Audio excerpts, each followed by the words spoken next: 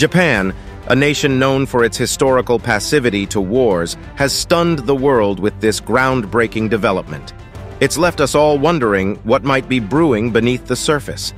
In an even more unexpected twist, the country has forged alliances beyond its traditional partnership with the United States to achieve its Air Force goals. They've joined forces with other nations to create a powerful sixth-generation stealth fighter, and the Godzilla FX may change the meaning of warfare on a global scale. The growing regional tensions and emerging threats have likely played a significant role in Japan's new decision to bolster its defense capabilities. With potential challenges on the horizon, it has become increasingly crucial for the country to adapt and prepare for an ever-evolving global landscape. Join us as we explore the features and capabilities of Japan's formidable powerhouse, the Godzilla FX, that shocked the world. Since World War II, Japan has been hesitant to build up its military, especially its air force, which is now outdated compared to modern standards. The trauma of the war, alongside the devastation it brought to Japan and its people, left a deep aversion to militarism. The memories of Hiroshima and Nagasaki are a haunting reminder of the cost of war. Also, Japan's post-war constitution, shaped under U.S. influence, committed the country to a pacifist stance. Article 9 of the Constitution renounced Japan's right to wage war or maintain military forces for offensive purposes, restricting its military capabilities strictly to self-defense. Japan entered into a security alliance with the United States too. This alliance involved the presence of U.S. military forces, including air units, stationed in Japan. It provided a security umbrella under which Japan could focus on rebuilding its economy and infrastructure, relying on the U.S. for defense. The immediate post-war era demanded substantial investments in economic recovery and development, leaving limited resources for military expansion so this was an excellent deal for Japan at the time. The country's relations with neighboring countries, especially China and South Korea, have at times been tense, and their cautious approach to military buildup was partly driven by a desire to avoid appearing aggressive in a region with complex historical and political tensions. Unfortunately, this approach might no longer be enough. China's remarkable economic and military growth has taken on a more confrontational tone towards Japan. Leveraging its economic clout, China has imposed trade restrictions and boycotts on Japan due to Japan's support for Taiwan and its defense cooperation with the United States. But that's not where it ends. China has taken a more covert approach as well, resorting to cyber attacks and espionage. They've been hacking into Japan's government and corporate networks, seeking to pilfer defense and technology secrets. And of course, there's a military element to this confrontation too. China has upped the ante by increasing naval and air activities near Japanese territory. Live fire drills are a regular occurrence, and they've even launched ballistic missiles close to Japan's ally Taiwan. Given all these provocations and more, Japan has to modernize its aircraft to avoid relying only on foreign allies, especially since China and Russia are introducing advanced fighter planes. Initially, the country considered purchasing the Lockheed Martin F-22 Raptors, capable of rivaling Russian and Chinese counterparts. However, the U.S. banned the export of these fighters to protect its technology, leaving Japan with no options. As a result, the Japanese military decided to embark on an unprecedented journey by developing its very own sixth-generation warplane, while this ambitious endeavor faces numerous obstacles, its potential success could provide Japan with a cutting-edge warplane and a prominent place in the global arms industry. Between 2009 and 2010, the Japanese Ministry of Defense conducted a thorough study of combat aircraft technology, leading to the concept of a sixth-generation fighter named the I-3 fighter, which stands for Informed, Intelligent, Instantaneous. This next-generation fighter would feature advanced radar systems, data processing through flyby optics, stealth technology, gallium nitride semiconductors for enhanced radar performance, and a more powerful engine. The Ministry of Defense developed a unique demonstrator platform known as the Mitsubishi X2 Shinshin to test and refine these technical requirements. The experimental prototype allows engineers to experiment with various technologies, providing valuable insights into the development of their next-generation fighters. Structurally, the X-2 follows the modern fifth-generation fighter design, similar to the Lockheed F-22 Raptor. Its dimensions are close to the Swedish Saab JAS 39 Gripen, with a length of about 14 meters and a 9-meter wingspan. It weighs nearly 13 tons and boasts powerful turbojet engines with three D-thrust vectoring systems, offering exceptional maneuverability and supersonic cruising capability. One of the aircraft's most intriguing features is its experimental object remote control system called Fly-by-Optics. This system replaces most traditional cables with optical fiber, increasing data transmission capacity and electromagnetic interference resistance. The entire airframe is embedded with microantennas that analyze radar signals, allowing the X-2 to effectively counteract and suppress radar detection. Its prototype was a success, and many of its showcased systems will likely find their place in the sixth-generation fighter. This twin-engine fixed-wing aircraft had a sleek design, with a height of 4.51 meters. Its cropped delta wings and advanced root extensions enabled it to safely maintain a high angle of attack. The two vertical stabilizers on the trailing edges also improved aerodynamics and stealth features. The single-pilot fighter sported a retractable tricycle landing gear configuration, aerodynamic control surfaces, and two rectangular intakes flanking the cockpit. Furthermore, its S-duct design boosted its aerodynamic efficiency. Following insights gained from this Shinshin X2, the Japanese Ministry of Defense initiated the early development of the Mitsubishi FX in 2020. This twin-engine stealth fighter, designed for air superiority, is set to be notably larger than the F-22, earning it the nickname Godzilla. This increased size will grant it exceptional range and a substantial ordnance capacity. The focus is also on unparalleled network capabilities and the ability to carry more missiles than the F-35. Various exterior designs have been proposed and tested using 3D modeling and specialized virtual simulation software. The design priorities include speed, agility, and stealth. To enhance its flexibility and reduce weight, the FX will replace conventional hydraulic systems with electric actuators and use advanced adhesive molding instead of traditional fasteners. Powering this fighter will be two XF-9 engines, providing over 20 tons of thrust. These engines feature three-dimensional thrust vector nozzles for maneuverability and improved stealth. Regarding armament, the FX will be equipped with an array of sensors to engage enemy stealth aircraft, including an active electronically scanned array radar, a passive radio frequency sensor, and an infrared camera. These sensors will employ gallium nitride technology to enhance their performance against low radar cross-section targets. Additionally, it will have an RF self-defense system that can instantly disrupt radio waves globally to thwart incoming projectiles.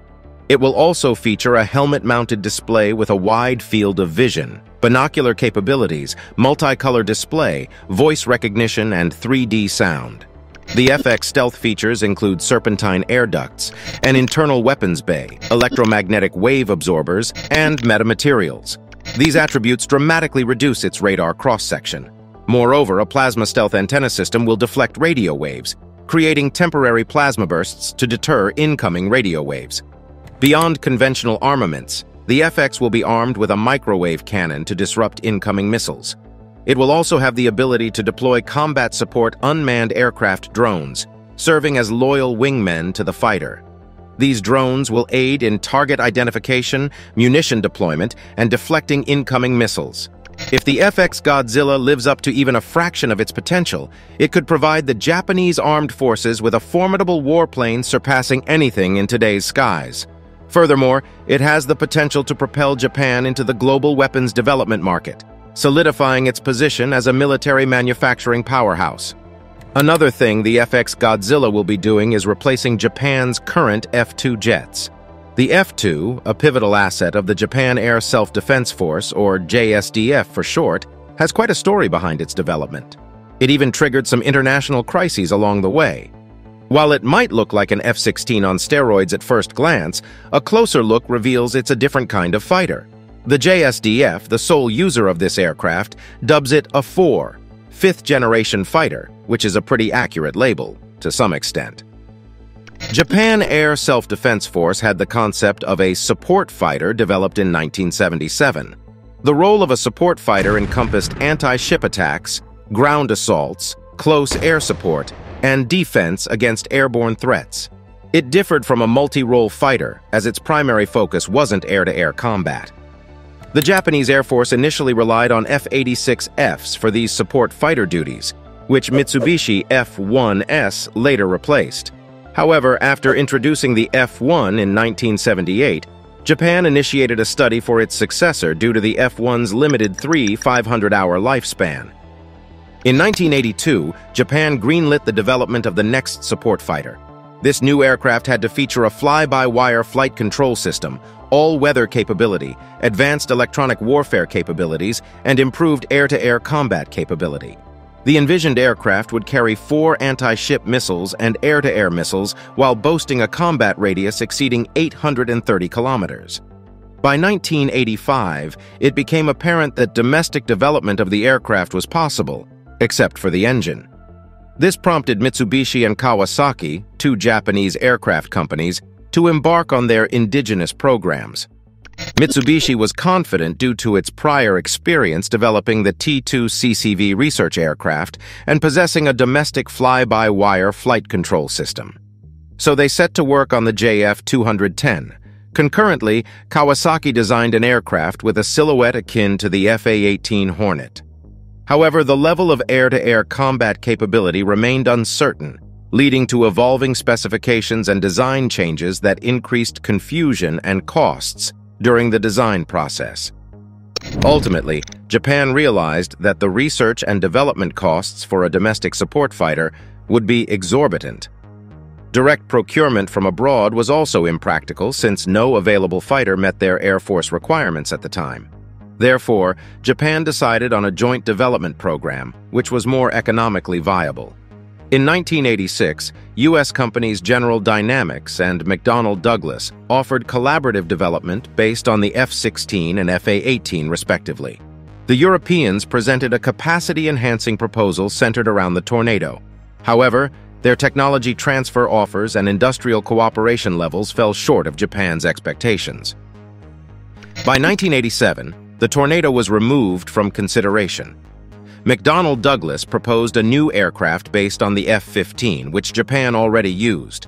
After meticulous evaluation, Japan selected the F-16 as the base aircraft, specifically an enhanced F-16 variant that General Dynamics had been working on as a low-cost alternative for the Advanced Tactical Fighter program.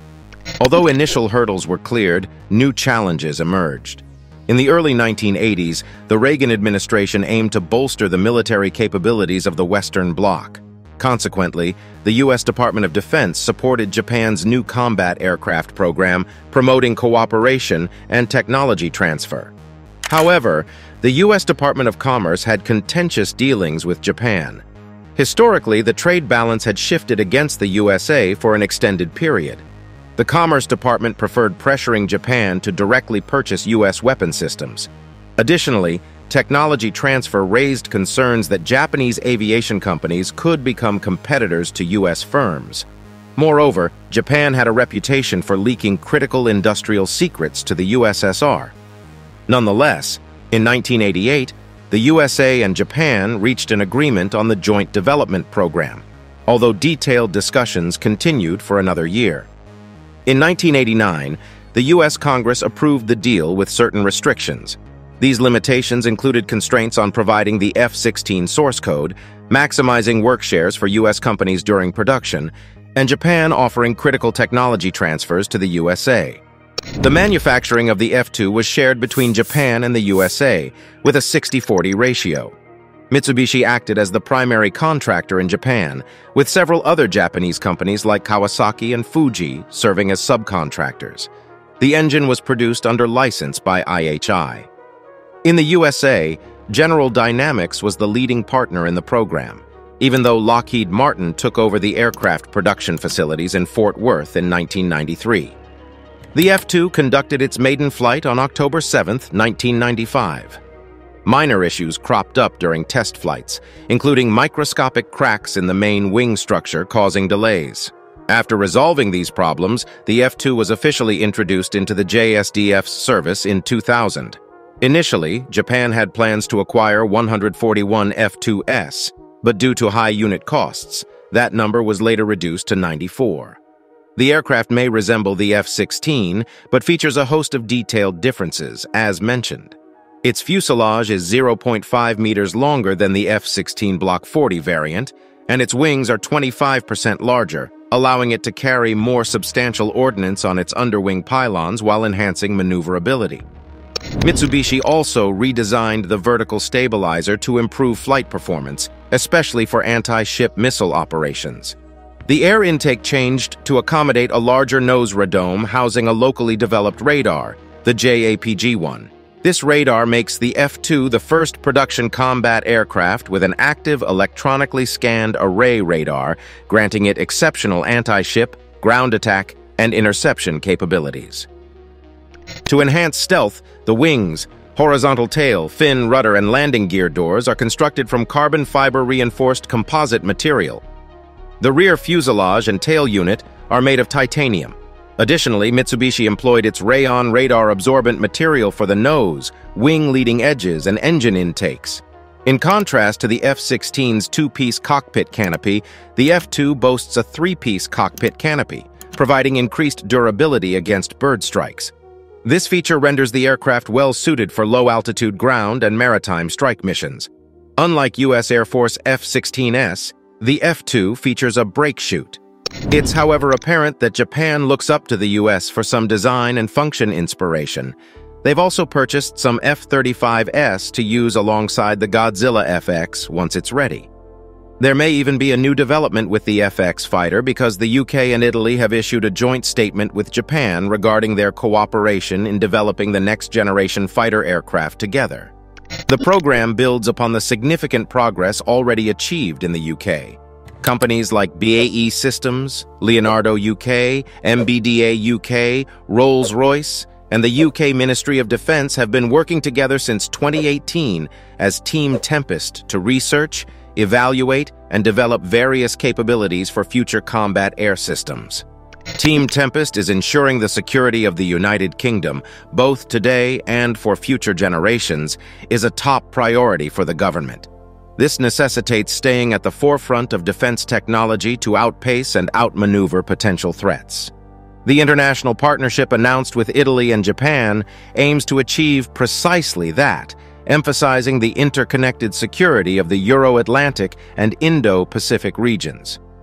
Work on the joint engine demonstrator is slated to begin in 2024, with the UK investing an initial £30 million in planning, digital design, and innovative manufacturing developments. An additional £200 million of UK funding will go towards developing a full-scale demonstrator power system, supporting numerous highly skilled jobs, including those at Rolls-Royce's Filton facility in Bristol. Together, these countries will work on creating a multi-role sensor that enhances future warplanes' intelligence, surveillance, and reconnaissance capabilities. Japan, already involved in assisting Rolls-Royce with a propulsion system demonstrator, will provide valuable technological advancements for the new British warplane. It will be capable of producing and storing electrical power generated by gas turbine engines, employing a thermal control system to enhance performance and reduce the Tempest's heat signature. Japan's entry into this collaboration is a significant development. The partnership between the UK and Japan will also focus on the development of the Jaguar sensor system, designed to detect threats from air, land, and sea and locate targets quickly and accurately. This joint effort is set to continue over the next five years. The UK's Defence Secretary Ben Wallace emphasised the importance of international collaboration in such an ambitious project. Leveraging the technological and industrial strengths of both countries, they will explore a wide-ranging partnership encompassing next-generation combat air technologies, 3D printing, and advanced radar systems. The first flight of the Tempest is anticipated in 2035, and it will replace the Eurofighter Typhoon in Italy and the UK, as well as the Saab Gripen in Sweden. The manufacturing process is expected to incorporate 3D printing, and Leonardo is working on a multifunction radar frequency system for the Tempest. This system, which uses a network of smaller antennas and miniaturized receivers, reimagines radar technology, collecting vast amounts of data from the skies and the ground. Like other sixth-generation aircraft, the Tempest will likely utilize artificial intelligence software for autonomous drone operations, following the loyal wingman concept. The cockpit will incorporate augmented reality technology, making it an ambitious and technologically advanced project. Speed and international cooperation will be crucial for the Tempest project as it aims to stay competitive with China and Russia, both of which have made progress on their own next-generation fighters. It's unclear how this collaboration might impact Japan's Godzilla FX project, as they are actively assisting the UK and Italy with the Tempest. Some speculate that these three nations could eventually join forces to create a completely new aircraft that leverages the strengths of their respective fighter jets. Regardless of the plan, the United States supports Japan's security and defense cooperation with like-minded allies and partners. If Taiwan were to be captured, the islands at the southwestern tip of Japan might become hard to defend. China could then tighten control over Japan's crucial trade routes, escalate tensions around the disputed Senkaku Islands, and exert pressure on its long-standing rival. To prevent this, Japan needs a united effort to prevent China from invading. Additionally, addressing the threat posed by North Korea is imperative. While it may surprise some, we can all admit that there is no better time for Japan to develop its military strength than now. Thanks for watching. While you're still here, click on the link appearing on your screen to check out another of our videos. See you there.